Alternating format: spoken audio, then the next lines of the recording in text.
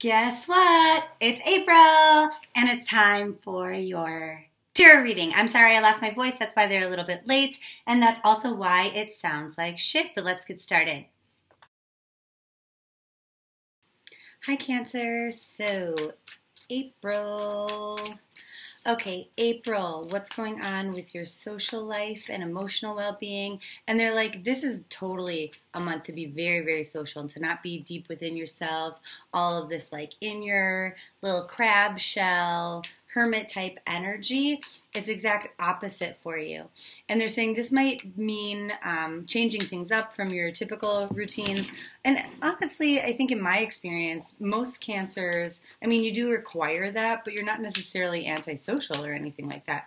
Um, what they're saying though is this month is definitely um, intended for you to take actions, to go outside, to you know be around other people, try new things, be adventurous, um, stuff like that.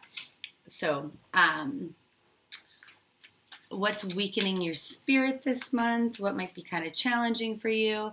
And they're saying finding that confidence. So you might experience some so- social awkwardness and things like that, but that's totally normal and it's totally okay. They say everything is um, exactly as it's supposed to be. This is a month for fun. This is a month for new adventure. And the details of that are going to vary from person to person, but the details aren't important. They're just saying this will somehow benefit you for your long term future goals um, your hopes, your dreams, your wishes. Uh, but the problem here is that some of you aren't thinking necessarily about what it is that you desire and what it is that you want. And so, Klaus. And so, the issue might be then that um, you could manifest some situations for your longer term if you're not spending time having fun, going out, um, doing these kind of things that are unfavorable or not aligned with what it is you desire. So, really start thinking about what it is that you want and focus on that, and then take appropriate action and use other people to kind of help you out.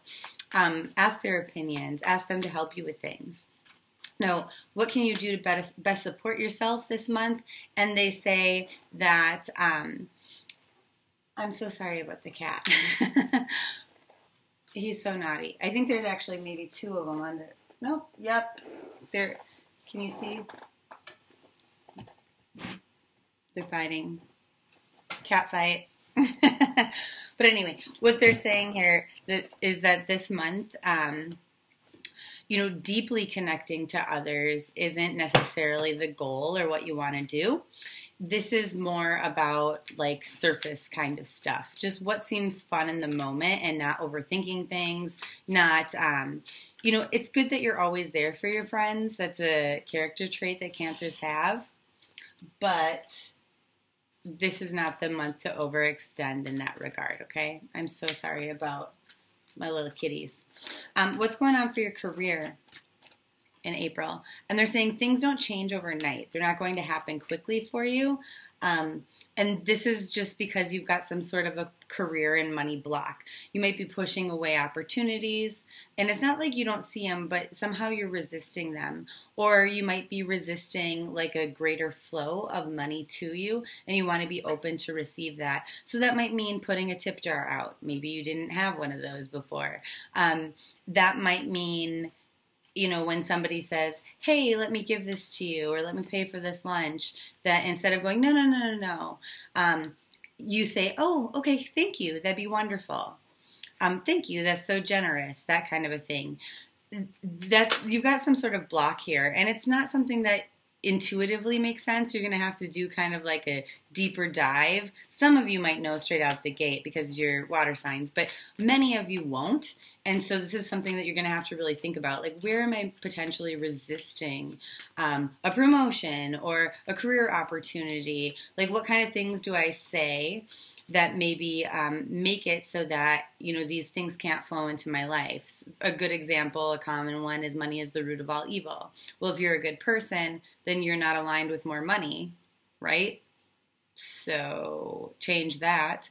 Or you know, uh, nice guys finish last might be something where you know the guy who's like more cutthroat in business is the one who gets promoted um, that might be your belief system and therefore you're not necessarily allowing blessings to flow in for you okay Now, as far as your love life goes, we're going to look at singles first.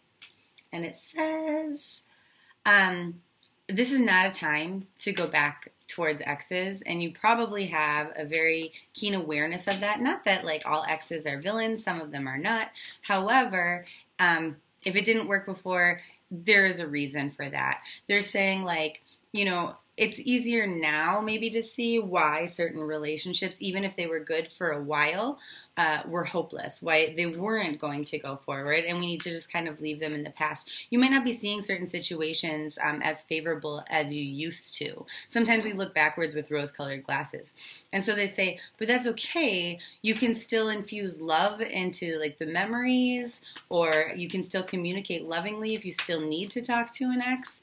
But any ideas of rekindling, you should table. They say this is how you um, kind of achieve and maintain emotional balance. But what is coming for you? Because we don't want to talk about the past.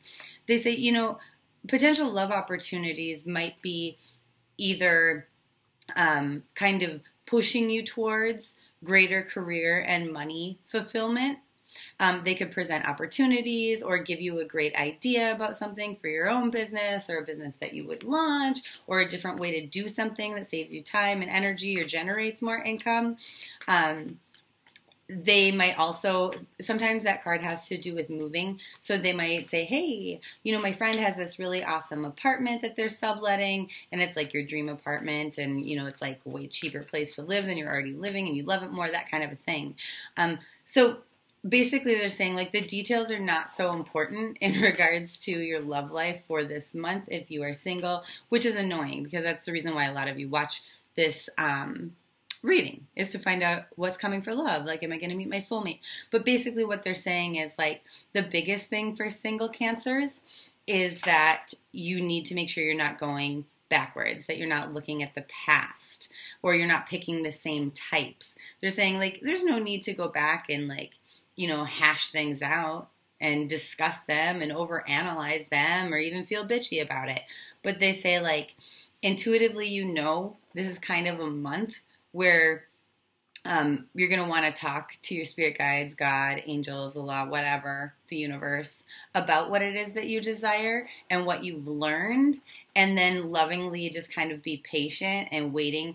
Like, an affirmation you could say is the perfect person um, for my self is coming in the perfect time, in the perfect way, and then not having anxiety about it. They're saying, um, first and foremost, like you need to really show more love to yourself. You need to speak to yourself the way that you would speak to, you know, somebody you had a crush on like, girl, you look cute today, you know, that kind of stuff. Don't beat yourself up this month. They're saying, like, these are things that you need to cut out before the right person flows through for you. Now, for those of you who are coupled, they're saying um, you have a little bit of fear, a little bit of I don't know, like kind of anxiety, like something's going to go wrong in the relationship, but they say actually everything's pretty cool, pretty calm, pretty balanced.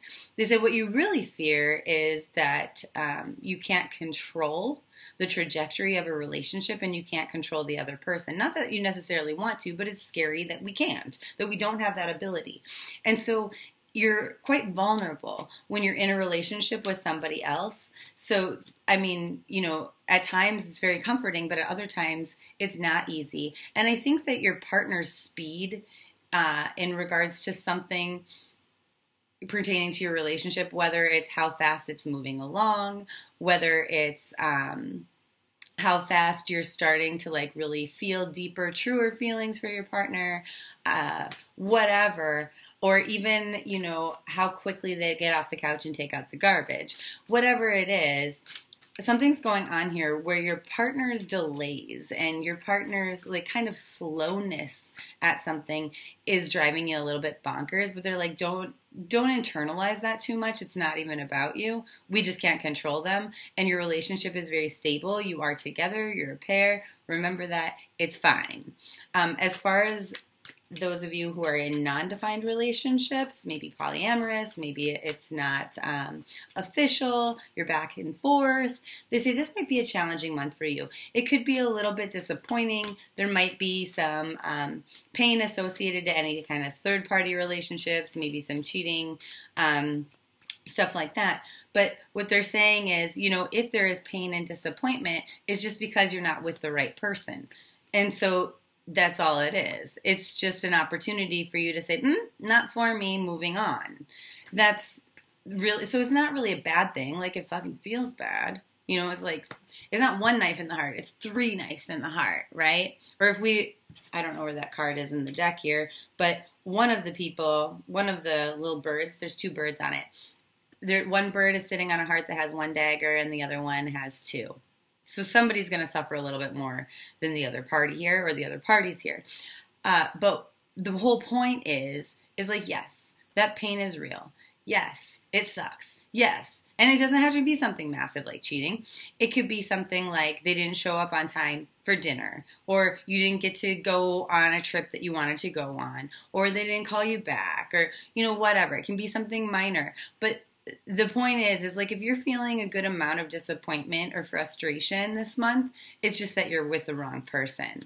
Um, so anything else that undefines need to know? And they go also don't internalize it. It's just not that deep this month cancers. Like this is a month for fun for like fancy free like you know non-emotional attachment and depth just kind of going with the flow and doing you know things that are fun and light and exciting and not over analyzing that emotionally.